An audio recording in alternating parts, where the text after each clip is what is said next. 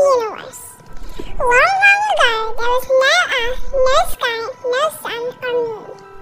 There was darkness everywhere. Then Allah decided to make a beautiful world. Be, said Allah, and simply by His saying the word, the whole universe came into existence. Allah created the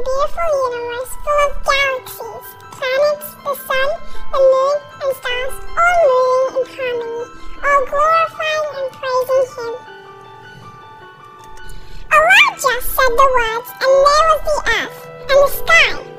There was a bright sun, the shining moon, and twinkling stars. Then came the dry land and the oceans. By just saying the words, Allah made them all.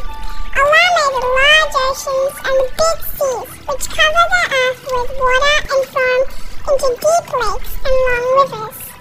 Allah made the sea monsters and all the fishes, big and small. Allah made lovely flowers and large and tiny.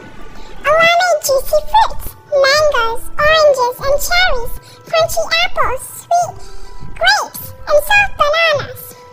Where did the fruits come from? Allah made them all. Allah made the animals. Some live in the forest, some live in cities, some are large and others are small.